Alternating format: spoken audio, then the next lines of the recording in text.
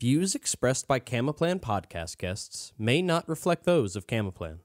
Camaplan does not guarantee the accuracy of information provided by guests, nor does it endorse or recommend any individual or organization. Camaplan is not an investment advisor, CPA, realtor, or attorney. You are encouraged to conduct your own due diligence before making investment choices. For any tax, legal, accounting, investment, or other questions, please consult a specialist.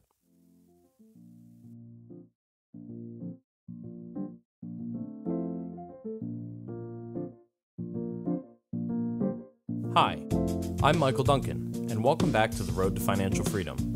This podcast is brought to you by Camaplan, a self directed IRA administrator focused on educating investors on how to grow retirement savings faster through alternative investments. In each episode, we're going to take an in depth look at the many roads taken to financial freedom and how they differ for each of our guests. Our goal is to help the listeners learn how they can achieve their own financial freedom through the experience and stories of experts that have done just that. Today's guest left the tech world to advance holistic approaches to health and healing and is now busy influencing the use of wealth for doing good while spreading highly advanced antibacterial ionic silver for immune support. I'm very excited to welcome Jay Newman to the show. Jay, how are you doing today? I'm doing great, Michael. How are you doing? I'm doing really well. Um, you know, you and I have already talked a little bit. Uh, this is not our first conversation, uh, but I'm very excited to learn more about what I consider a very interesting journey, a very different journey than a lot, um, a lot of people that I've spoken to, and a lot of stories that I've heard, and uh, I'm sure that the uh, the listeners are equally as excited to hear about it. Um, well, the the the beginning of the journey was leaving high school because I asked the school psychologist why I'm supposed to spend ten years getting good grades to get a good school, to have a good job, to have a lot of money, and that's it, and gather things. And I so I look around at people who are happy or who are miserable or who nurture their loved ones or hurt their loved ones, and money wasn't the common denominator. And if I could spend 10 years learning, learning about this mystery magic of being a human being made a lot more sense. And I thought he'd say, very nice kid, go back to class. But he didn't. He said, you're advanced, uh, you're ahead in math with a 100 average. You don't care about anything else. You're wasting your time here. There's the door. And I came to Florida and lived in bookstores, libraries, health food stores, first to learn about the physical aspect of being a human being. And I learned that we know how to prevent and treat most disease and build immaculate health through simple things in harmony with nature, giving the body the conditions that it naturally needs. And I also realized that because of our level of socioeconomic cultural evolution or lack of evolution, this information is in the shadows because nobody can patent it, monopolize it, and get rich on it. And meanwhile, we've got the pharmaceutical industry and so much of the medical field doing things that make a lot of people a lot of money, but are kind of not really what matters for making people healthy. So I became determined to get wealthy to teach this with my own money. Um, went to college briefly, And after a few months, the science teacher told me the system would hold me back and to leave and find my mentors in the real world. I actually had questioned something he taught and he said, let's do an experiment in front of the class tomorrow. You bet your grade for the year. And when I was right, he said, wait for me after class. And I said, we took a stroll on the soccer field. I said, why'd you do that? You had to know I was going to be right when I questioned it. He said, of course I knew. I said, aren't you concerned you made the system look like a farce to all the other students? He said, this wasn't even about you, Jay. You could have aced this class in your sleep. You gave me the uh, opportunity to show the others a pace to think. And then he said, you need to leave academia. It'll hold you back. Find your mentors in the real world, follow your passions. Next thing you know, a couple years go by, I have the head of the entrepreneurial department at Harvard as a mentor on my board of advisors, a patent on a video projector for computers, one inch thick business plan. I go to the big venture capital firm that I was referred to in Boston, and they called me a few days later and said, Jay, we had a meeting about you, and your problem is you're genuinely smarter than the investors who are going to want to tell you how to do things. There's one man in the country who'll understand you. And they sent me to a VC in Silicon Valley. And now I'm with no money trying to find an attorney and accountant out there. And I spoke to a bunch and finally hit it off with an attorney. We finished each other's sentences. He says, Don't worry about the money. You pay when you raise the first million. Same with an accountant. Then Ross Perot I see an interview he did in Inc. magazine. And I sent him a one page letter. I have a patent on a video projector for computers. I'm trying to raise money. I have a one inch thick business plan, and as the back is my views on leadership and management, a little section. And I've just enclosed that section and nothing else because it's matched what you just said in your interview so closely, and I rest my case. A few days later, it arrives. The president of Perot Investments calls me up. Ross said to look into funding you, and I have his daughter in law on the line with me. And over the next two weeks, I found out that the VC I was sent to in Silicon Valley was the legendary venture capitalist who took Stephen Jobs out of the garage and built Apple. And my new attorney was Steve Jobs' attorney. And my new accountant was Steve Jobs' accountant. And when Steve got kicked out of Apple by Sculley, and he formed Next Computer, which developed the Mac OS, the first primary investor was Ross Perot wild coincidences, which sent me to the library back then looking up microfiche. This is the late 80s. Who's this guy, Steve Jobs? And the same author, same book that changed my life about holistic health and healing, he'd been trying to tell people about for 10 years. So we became friendly. But then we had a disagreement. What's more important to the world, health or tech?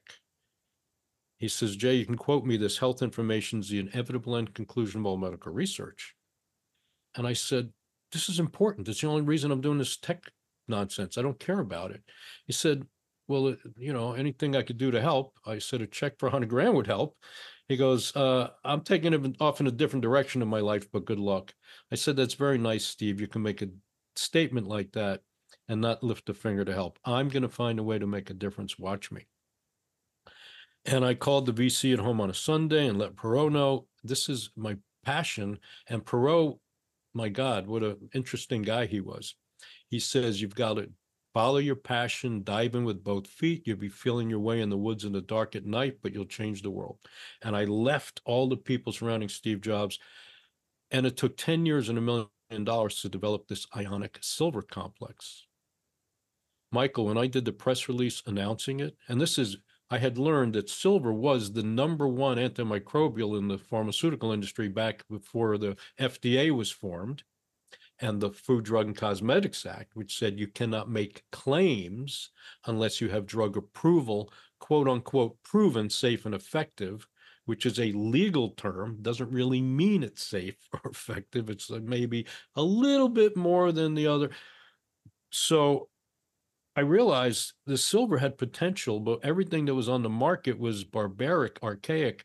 And I just knew if I could overhaul the technology, isolate the active ingredient, make it to pharmaceutical grade purity, and at a profit, we could drastically reduce infectious disease on the planet. And I'm talking bronchitis, pneumonia, COPD, emphysema, um, MRSA, ear infection, eye infection, food poisoning.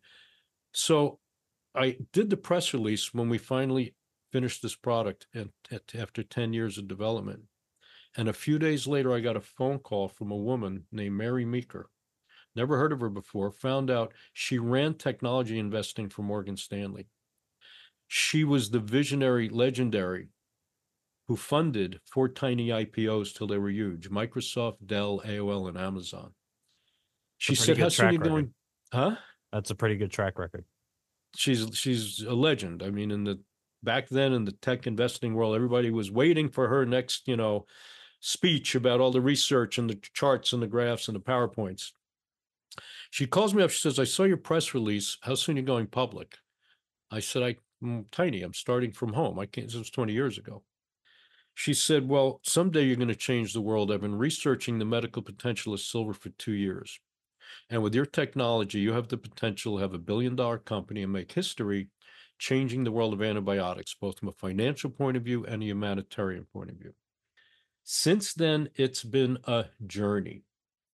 Customers have invested over and over, little by little. It's been a couple million over 20 years spread out, which means barely enough to keep the lights on, literally, a lot of times but they're so supportive because when their mother was going to die in a hospital and they were told to make funeral arrangements but they used the silver and then the mother comes home and this happens for the wife and the son and over and over they care what we can do for millions of people. And making a profit is important also. Most of them stretch their finances to where they can hardly afford it But these are the most amazing mutually supportive relationships. Nothing will stop me as an entrepreneur from doing justice to them and getting this out for the countless millions of people suffering and dying and dying needlessly while we're here talking. And over these years, venture capitalists, investment bankers, Wall Street types have shown up over and over and in their words said to me, Jay, you're sitting on a potential gold mine. I can easily see this company sold for half a billion in five years. Billion dollar potential. Easily sell it to a pharmaceutical company for 100 million in two years. And my response has been I have three criteria who I will allow as my investors. Number one, they care at least as much about the people we're saving from disease as the money, or we're just not going to get along. We're going to have friction. We're not going to be on the same page. Number two, they genuinely respect natural healing. They understand sometimes it's more progressive than the pharmaceutical poisons.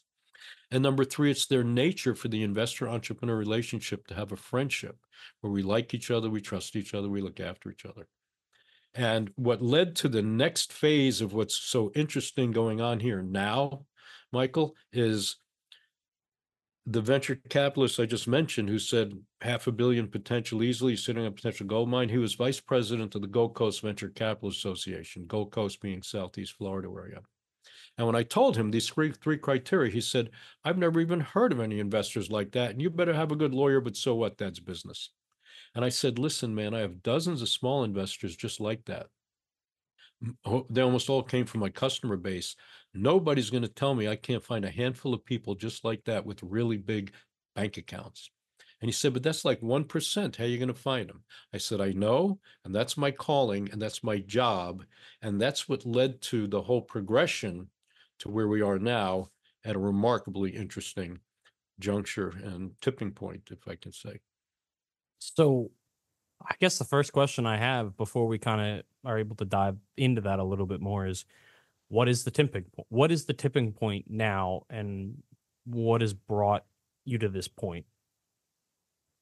Okay, well, that's not waiting to dive into the question. That's diving into the question. Sorry, I, I guess I meant diving into the 20 years predating that 20, 30 years, all of that information. Um, you oh. just you, you just told a lot about your story. And before I get back into your story, oh. I'd like to know what is the tipping point. Oh, okay. Well, what's happened is over these years, um, sold about three quarters of a million bottles with no marketing per se, put it into health food stores and a big distributor and a bunch of Whole Foods. And then the internet grew. And so there were internet retailers. And then they started doing wars on Amazon against policy. And that really disrupted the normal integrity of the wholesale retail pricing model. And meanwhile, I kept being approached over and over by Wall Street types and so forth, saying all this big money potential. And I just refused to I couldn't even begin to entertain getting in bed with people who only care about the dollars. I've increasingly seen this through my whole process as the number one problem and number one opportunity for mankind as a species, as a civilization to thrive and progress to possibilities beyond anything we can imagine because I think the problem of the ones that are most wealthy just only caring about more and more money and more and more money and more and more money with no consequence, no concern about the consequences on mankind and society saying that's cool. I mean, investing in look at the event where I met Carl.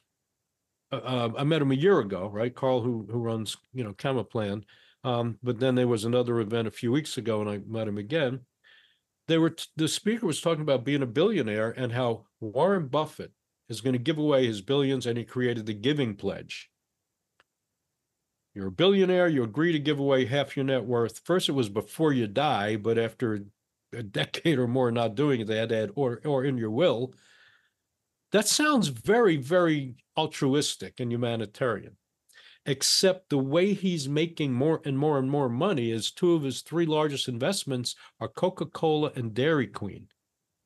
Now, anybody that's a little bit, you know, aware realizes that's making people sick and killing people. And then Charlie Rose interviewed him. It's on the internet. It was um, seven years ago. And he says, Oh, the Giving Pledge, that's great and all that. He says, Charlie says to him, But you're investing in derivatives, which you called weapons of mass destruction, which means getting rich on the little guys that don't know any better, of course, right? Yeah. And and Buffett goes, Well, yeah, um, oh, I am. He goes, But Charlie Rose, but you called it weapons of mass destruction. He goes, Well, yeah, but if I can make a buck, I mean, we've got a lot of people weren't into the COVID vaccines.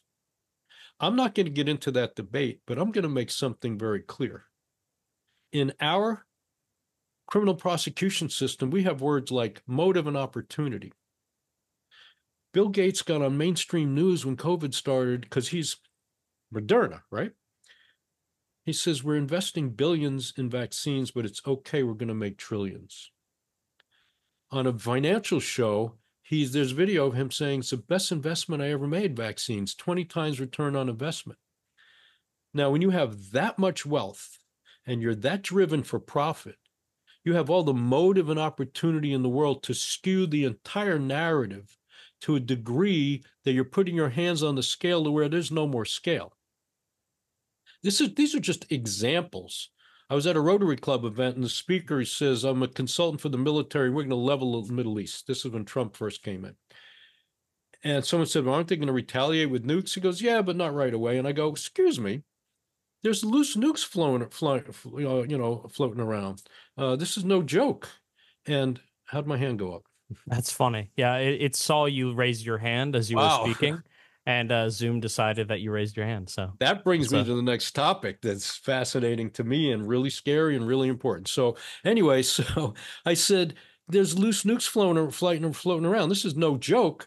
I said we have the biggest GDP, biggest military budget in the history of mankind by far. Why can't we put a tiny fraction of that budget into a 10 year project to take these people out of the dark ages so we don't have to blow up the world? And he had an answer right away. He said, We can't do that because of the um, military industrial complex. I said, So why do we give them so much lobby power? And he had an answer right away free enterprise. This is the elephant in the room with very few adults in the room. And the other example, I raised my hand and the hand comes up. AI, AI, AI is all you see now. AI, AI. You get on YouTube and you look up Ray Kurzweil. He's the head of AI for Google.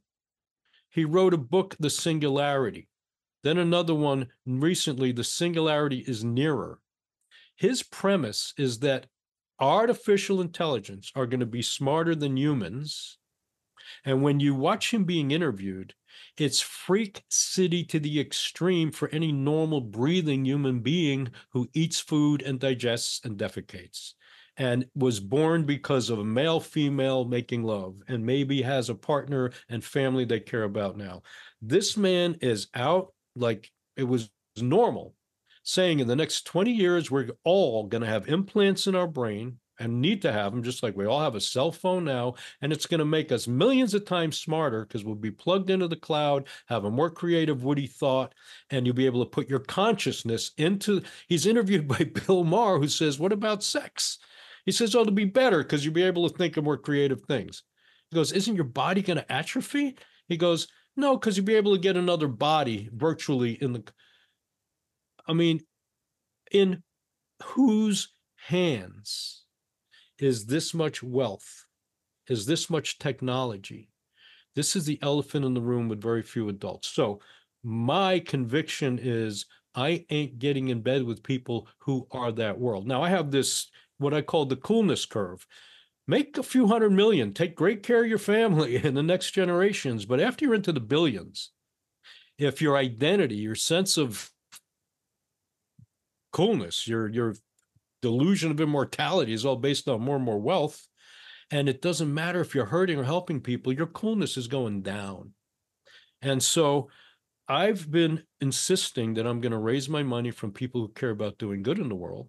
And I've did two things uh, through this process. Number one, I had an angel group say, This is great, looks amazing. You know, they work with the tech divisions of the local universities. Jay, we want to invest. What's the valuation? What percentage do we get? How do we exit? You know, all the metrics, the numbers, yeah. ROI, projections. For years, I was so tired of metrics, numbers, and you care. I said, "You care? We're going to save millions of people from disease, right?" He goes, "Yeah, of course we care." Now, what's the valuation? What's percentage do we get and when do we get ours? Michael, I said to him, you know what? The valuation is the next 10 million people we're going to save from disease. Which was my way of saying this conversation's over. And the guy who sent them to me said, I can I could send more potential investors, Jay, but the more I talk to you and look at your materials, you're interested in wealthy people who want to do good in the world. That's called philanthropists. Form a nonprofit. And I did a year of research and I learned that by having this hybrid structure of a nonprofit and a for profit, the nonprofit can buy the silver from the for profit, making me and my investors good money and distribute it charitably. And I got the head of the nonprofits division of the Florida Bar Association to take me under his wing. Came to my house to tell me things he wouldn't even say over the phone pretty much said I discovered the Holy Grail, how to make us really good money. Me and my investors in the for-profit raise massive money from from philanthropists and do massive good for mankind. I had an expert in raising money from philanthropists. I was sent to him by a customer who's in one of the confidential video testimonials, who was the number one art historian in the country, Harvard professor, all that. And he just does a short thing. He said, I, I was in the arm in the war over in in the um Korea, wherever it was, Vietnam. I was in the, the the sewers and I got Whipple's disease, and I would be dead today if it wasn't for Jay Silver. Thank you. And that's his testimonial. Wait till these people need to look at the link we provided here of some of the video testimonials of people who were going to die and ended up going home. So be that as it may, uh, he he introduced me to someone who raised a lot of money from philanthropists, and this guy said, "Jay, you're so on track here that you're going to ask a rich person to donate a million to your nonprofit, and they're going to ask, what can you do with 500 million?" And so I started learning how to raise money from people, not institutional, you know, private equity firms and whatnot. Yeah. And that means go to family offices. You familiar with the term? Yes. Okay. I assume most people here are. Why don't the- Why don't you tell me what it is, just uh, for Yeah. the sake of clarity? Yeah. Family office is a very generic, innocuous sounding term, which means the little team or individual who manages the wealth for their very wealthy client family. Every wealthy, really rich family or individual has a family office. They don't have an attorney and an accountant and an insurance agent and a tax advisor and financial planner. They have the family office, does all that. And I learned that by going to family offices, now I'm dealing with the individuals and we can develop relationships. And I even told that guy raising money from philanthropists, I'm not going to go to these family offices and ask what percentage of their philanthropy fund will they allocate to my nonprofit. I'm going to ask which of your clients are going to resonate so much with me and the mission and the, the values that you'll introduce us directly. Anyway, so I started going to family offices, Michael. And before you know it, they start telling me, Jay, you need to be speaking at family office conferences. And then I'm on this platform during Q&A called Impact Entrepreneur where they bring fund managers on about impact investing, you know, investing where you care a little bit what you're doing, it still just scratches the surface. And after um 2 minutes on Q&A, someone contacts me afterwards said, "Jay, we have to talk. Let's do a Zoom tomorrow." I look him up. He manages the wealth for a very large group of ultra high net worth clients. And we do the Zoom meeting and he's, excuse me, he says, Jay, we know we need a new economic culture. My friends and I, we don't know how to do it. You've been seasoned your whole life to do this. How can we work with you? And this happens over and over. And so I start a podcast, or I call it the interview series, and then I start a platform for it. So now there's my third entity. I have the for profit makes the silver, nonprofit called Champions for Humanity that buys the silver and distributes it charitably. And now I formed Evolved Influence. This is a combined ecosystem for really making a difference to accelerate the consciousness of how wealth is used in this country. It starts with an interview series interviewing wealthy people and their fund managers for actionable strategies on how to accelerate this consciousness. And then it leads to Jay, you need to support, start a support group for next generation recipients of wealth. And Jay, we want to start sending you our next generation recipients of wealth as clients. And I'm okay, so all this is coming and coming, and I'm like, hold on just a minute. And it's like this dam that I'm holding up with an invisible force field while I still work on getting another million in the bank, hire some people, because with all the money I've turned down, and totally changed the marketing model for the silver. Stopped all wholesaling, let all the pipelines dry up.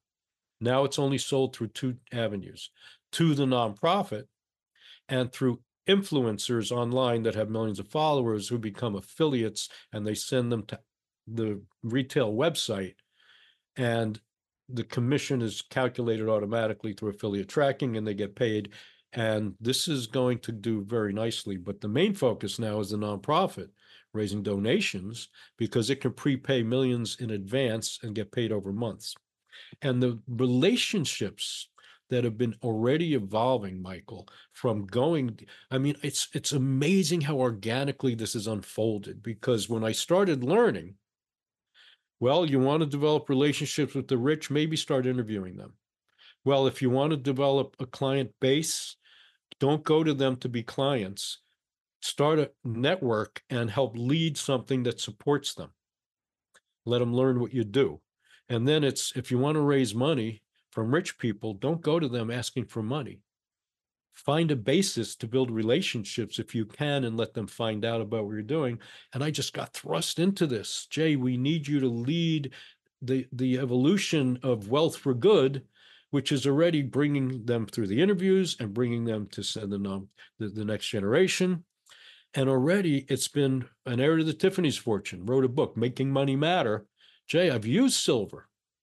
I saw all the chemistry advanced difference on your website. I mean, we have former PhD chemistry professors of major universities like University of Miami saying light years ahead, ingenious, unprecedented, hundreds of times more efficient than anything that's been on the market. So he says, you could have a billion dollar company and I want to bring investors. And he started to try to put together, but the guy just was not remotely on the level of sophistication where I normally deal, where you would deal with, with anyway. So I had to turn. So this is already happening in an amazing way. And yet I'm keeping it a bit at bay because I've got to hire a few more people and I want to just get another million in and uh, for the investment for the for profit, which is at the link if anybody's interested, accredited investors. A 10 million proposal is out right now for the initial raise for the nonprofit. It's a very potent video showing the chemistry, showing showing some um, testimonials, and in no time at all, this is going to become a mutually supportive thing because of number one, the nonprofit I was introduced again by starting the relationships through the Evolve Influence platform, interviewing Wealth for Good. One professor who I interviewed, who wrote a book, Integral Impact Investing, a PhD, and he's also a psychoanalyst. And so I interview him and we hit it off like buddies.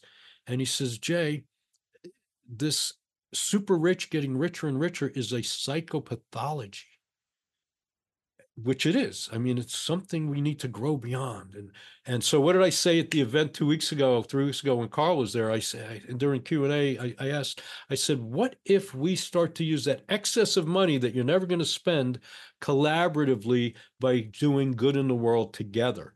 And the guest speaker was a guy who runs a billion dollar family office. And sure enough, when lunch break came, he grabbed me and said, Jay, get some food on the buffet. Let's have a private lunch together. And then he's emailing me fascinating. Let's see what we could do together.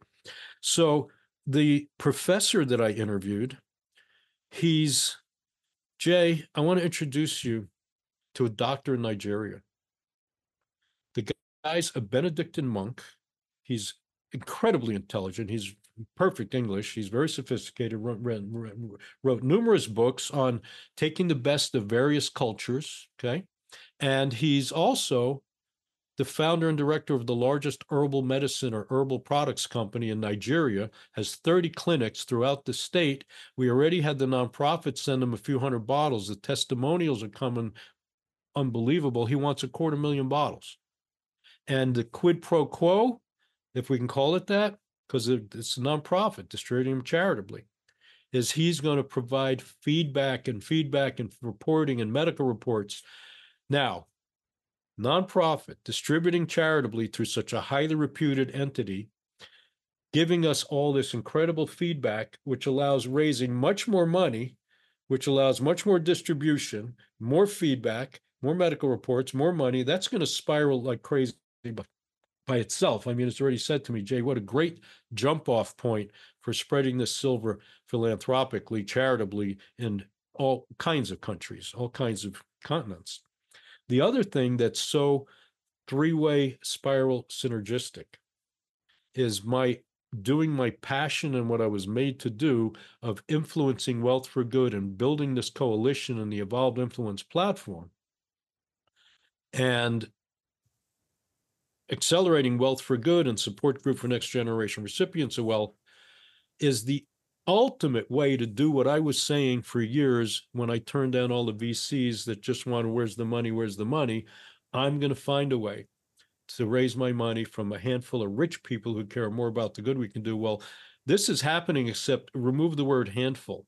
This is about to open floodgates because what better way to raise the money for the nonprofit massively and investments for the for profit as needed, but it's not going to be needed much, than to build these relationships.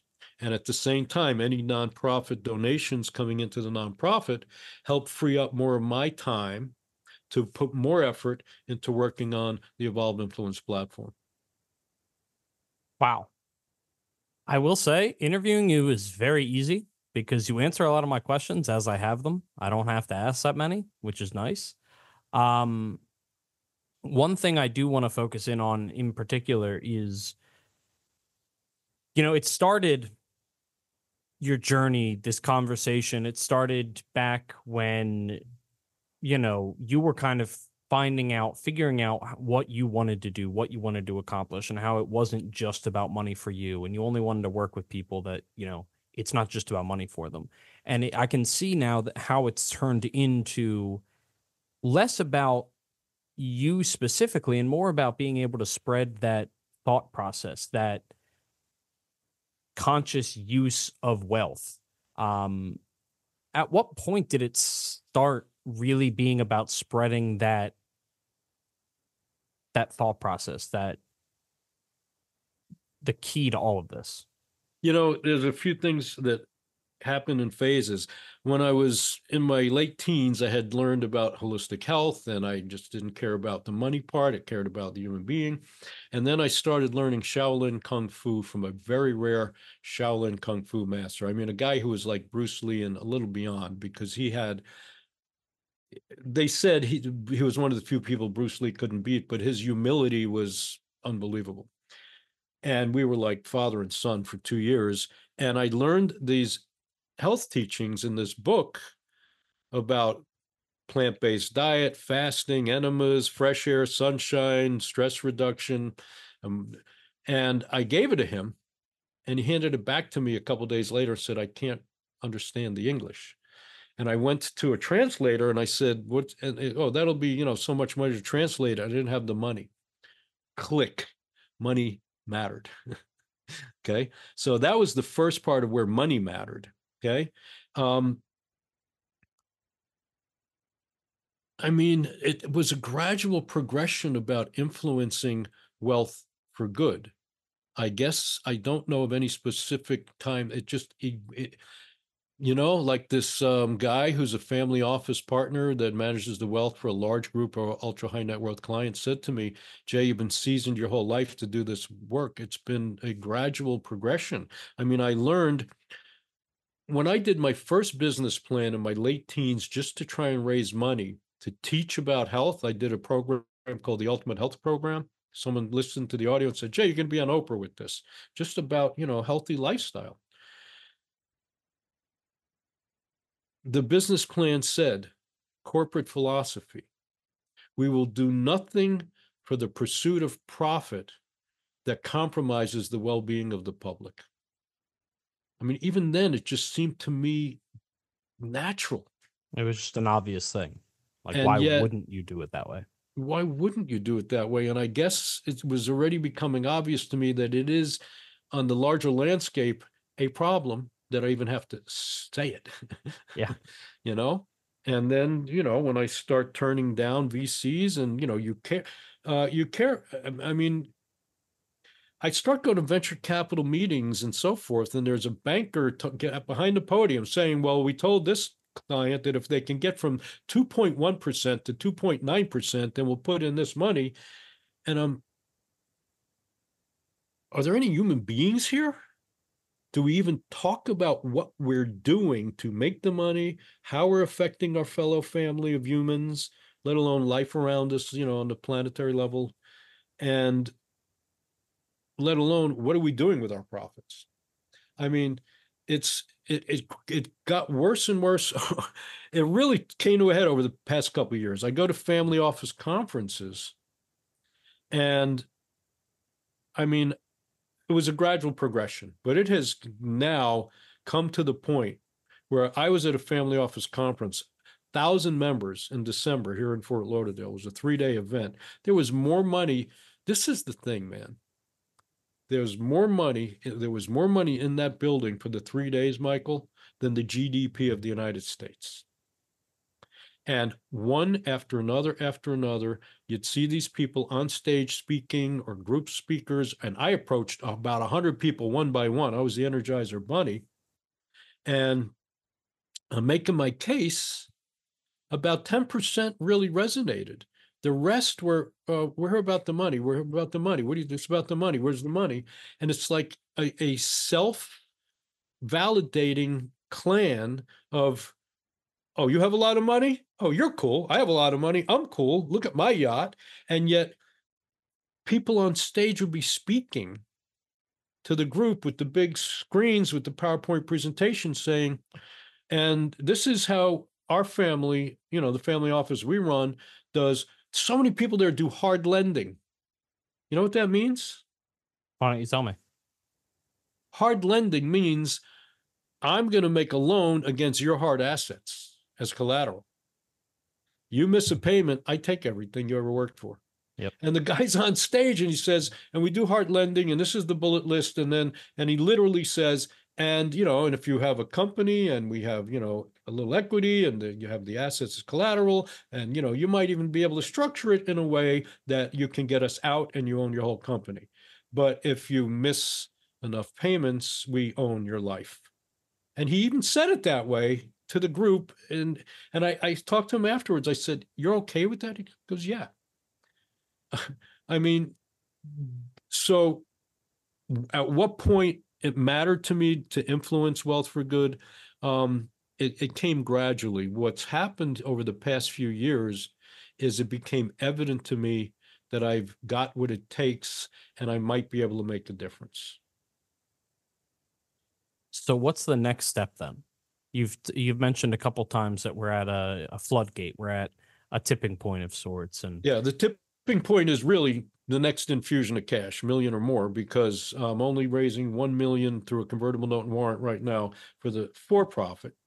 Um, but I'm again so selective. I mean, some people may think I'm arrogant or nuts or full of shit when I say all the money I've turned down, but I'm really selective because for me, shareholder is family. I'm working blood, sweat, and tears to do justice to them yes, I really mean it. Three criteria. They care as much as about the about the people we're helping as the money. They respect holistic healing, and we have a mutually supportive friendship. Then there's also the nonprofit, which is my bigger focus. I might even make a rule soon that nobody invests in the for-profit unless they've already donated at least that much to the nonprofit.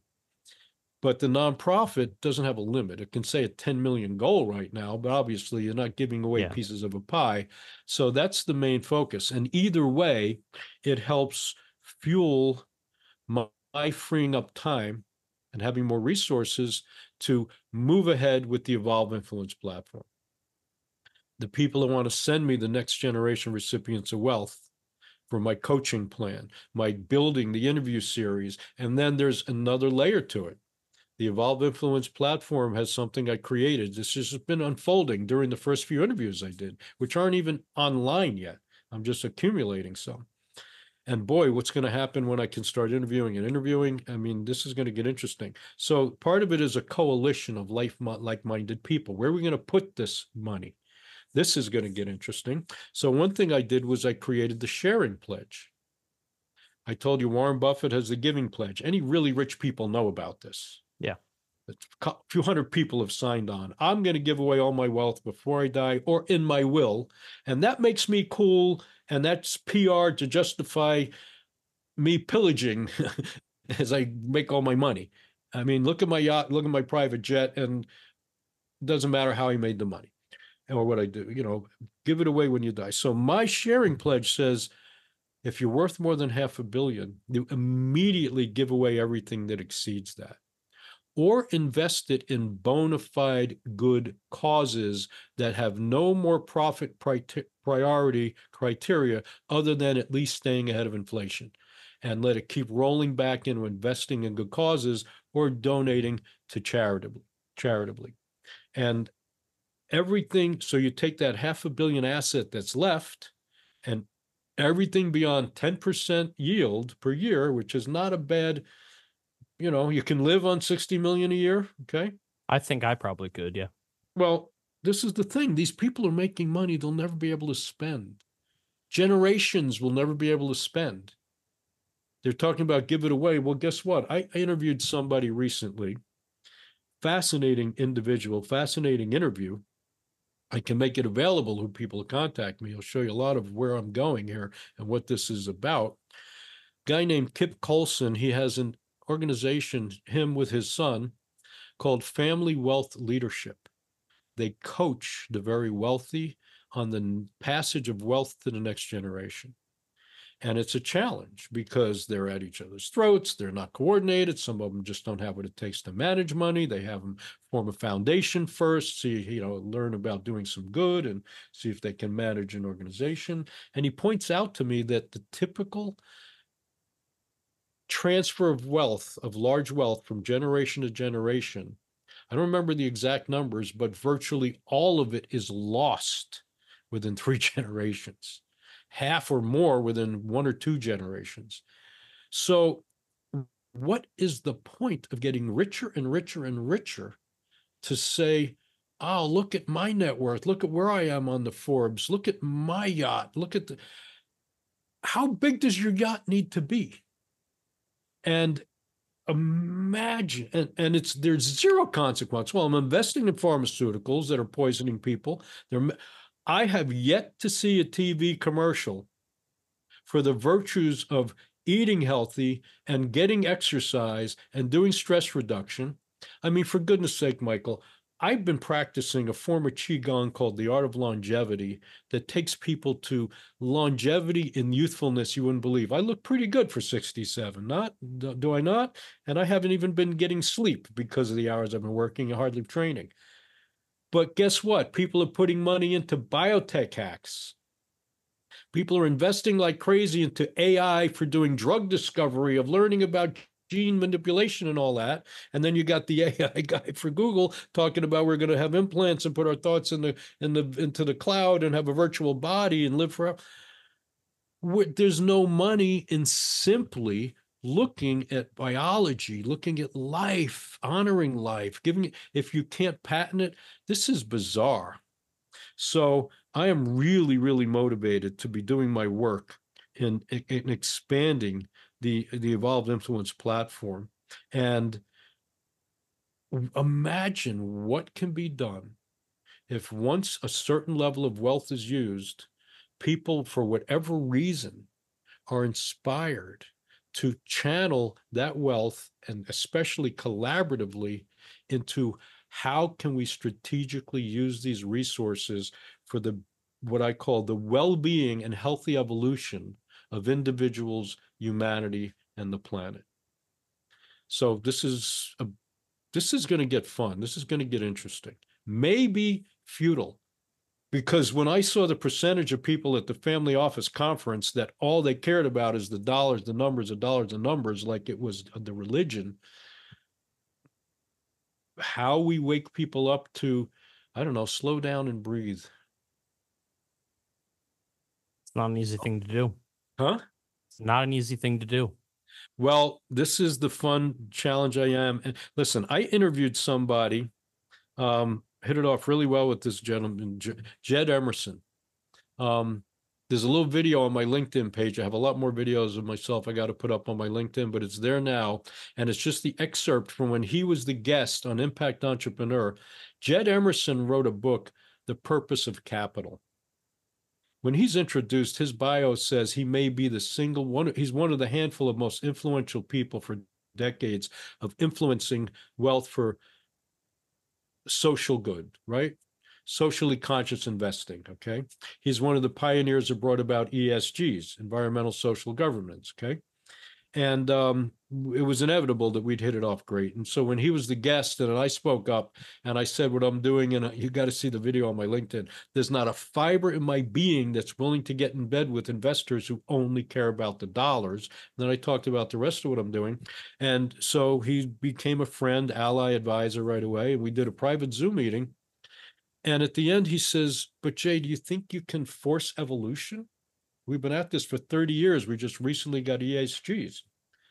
And I, I said, I think sometimes a leader comes along, a movement rallies around them, and change happens. And he says, Okay, let's work. Let's do it. Let's introduce people. I may be scratching the surface. I may be fighting a losing battle because of the fact that let's not kid each other, man. We don't have a lot of time left here before AI and biopharma and I mean the military industrial complex. We don't have I got to be optimistic, choosing optimism. And even if we only make a little difference, I mean, to me, what could be more rewarding to try, to do your best? It's fun, it feels good. How can super rich people be obsessed with more and more money and then be miserable and bored? Do you know the percentage of drug abuse, alcohol abuse, suicide in the realm of the next generation recipients of wealth compared to that demographic without adding the wealth factor? It's way above. This is bizarre, man. Imagine if you're that wealthy, the fun you can have, the good you can do, and how rewarding and heartwarming it could be to simply say, I'm not just building my identity based on more money, but let's see what we could do, man. So this is the tipping point I'm at right now because any moment, um, the next infusion of capital comes in from the right people. This is why it's a tipping point.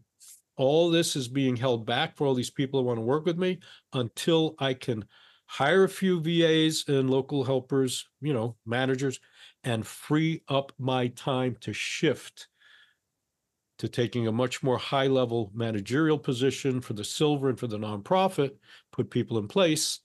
And then I'm busy working with the wealthy and their fund managers and influencing and channeling wealth for good and helping people evolve into using their position in a, in a way that brings life to bear. There was one guy interviewed on um, the Impact Entrepreneur, manages big wealth, and you know we help channel money into impact, impact. And someone says, "Well, how do we get to where we're more in the heart and more spiritual?" And he goes, "Well, we don't like to use the word spiritual because it turns people off. They think we're woo woo and we're hippies and trig huggers." And I pipe up and I said, "You don't need to use a word like spiritual. Just wake up to the fact that we're living biological beings, as I said, that eat, that digest, that defecate, that mate, that are going back to the dirt. Look outside. I mean, how does that tree know to draw dirt out of, draw energy out of the dirt, whatever it draws, and take the water from the rain and and take the sunlight in the air and, and create that flower? Wow We'll never have answers. How do those ducks know to mate, take care of the babies, enjoy? What makes us go right, left, right, left? There's this phenomenon of life that we're in the middle of that is so awe inspiring. Just honor life and be in awe. And now make your financial decisions from that and take the joy of being alive from that circle. Well, that's very well said. Um, I feel like I really could sit here for another couple of hours and just listen to you talk about this because it's extremely interesting and I feel like I'm learning a lot. Um, we are up against it, and I do have one final question that I like to ask every guest that comes on here. Okay. Um, so before we head out, uh, I would just like to ask what the term financial freedom means to you. Yeah. Um, you know, there was a song when I was younger, and this kind of goes back to when you asked me, when did I realize not so much influencing wealth for good, but have my own money? Yeah. There was a song by a guy named, I think, Jonathan Edwards. Jonathan Edward. Sunshine is the name of the song. Sunshine, go away today. I don't feel much like dancing. Some man's gone. He's tried to run, tried to run my life. You don't know what he's asking. And then there's a line in, in, that says, and he can't even run his own life. I'll be damned if he'll run mine. So financial freedom for me means that more than anything, not being owned by the landlord and the electric company.